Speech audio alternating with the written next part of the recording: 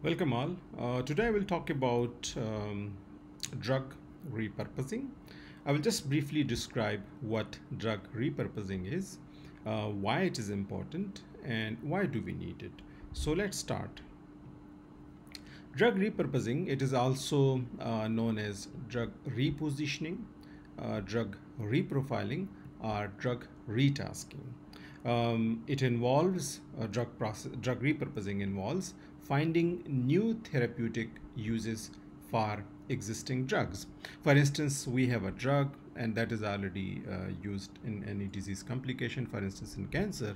Now, through drug repurposing study, it can be investigated whether it could be used in some other disease or not.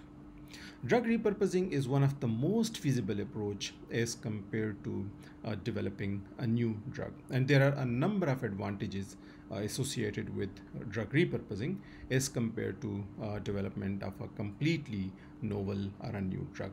Uh, for instance, um, I mean, what are these different advantages? So one of the advantages that uh, failure risk is quite low. So I mean, from a safety perspective, uh, we know that already approved or investigational drugs. They had gone through extensive safety checks so it is quite safe and less likely uh, to fail from safety perspective. Um, and second advantage is that uh, reduced time for drug development. Now it usually uh, takes less than um, three to four years for a repurposed drug uh, to be available for use um, as compared to uh, um, a de novo drug design or a novel drug uh, designing of a novel drug molecule which takes more than a decade around two decades. Uh, so it's it's a, it's a very uh, lengthy process.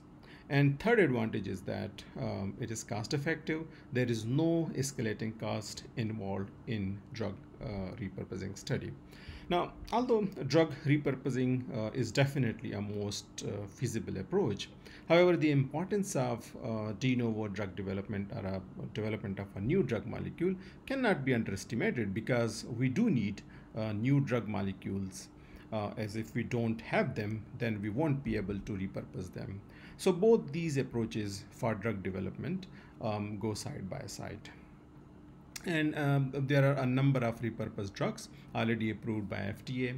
Uh, you can check the details of some of these drugs uh, in one of the research article. Um, um, the link um, I have um, given in the description um, or comment section. Thank you very much.